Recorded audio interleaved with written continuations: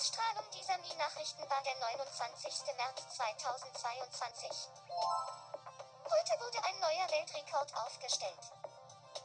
Eine runde Schere Steinpapier zwischen Papa und Sascha.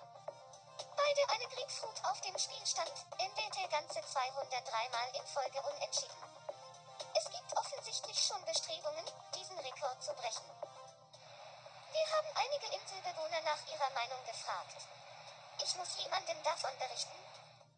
Die Mi-Nachrichten gefallen mir wirklich sehr. Danke fürs Zuschauen. Ich bin Wassermädchen Wasser. Der 29. März war das Sendedatum dieser Mi-Nachrichten. Mhm.